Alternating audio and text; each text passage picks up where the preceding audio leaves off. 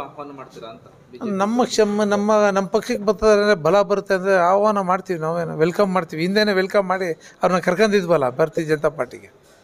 ಅವ್ರ ಬೇಡಿಕೆ ಅವ್ರ ಬೇಡಿಕೆ ಅಂದ್ರೆ? ಅವ್ರ ಬೇಡಿಕೆ ನೋಡಿದ್ರೆ ಅದು ನಿಮಗೆ ಎಫೆಕ್ಟ್ ಆಗುತ್ತೆ ಚಾಮರಾಜ ನನಗನ್ನಿಸ್ತದೆ ನಮ್ಮ ನಾಯಕರುಗಳು ಹಾಲಿ ಶಾಸಕರ ಬಗ್ಗೆ ಒಂದು ವರ್ಡನ್ನು ಸಹ ಮಾತಾಡೋಕ್ಕೆ ಆಗಲ್ಲ ಬೇರೆಯವರು.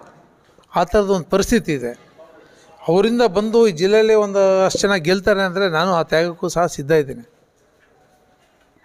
ನಮ್ಮ ನಾಯಕರಲ್ಲಿ ಈ ಜಿಲ್ಲೆಯಲ್ಲಿ ಅವ್ರು ಬಂದು ಒಂದು ಎಂಟತ್ತು ಸೀಟ್ ಗೆಲ್ಲಿಸ್ಕೊಡ್ತಾರೆ ಅಂದರೆ ಅದಕ್ಕೂ ನಾವು ತಯಾರಾಗಬೇಕಾಗತ್ತೆ. ಮಾಡೋಣ ಅದಕ್ಕೇನಂತ.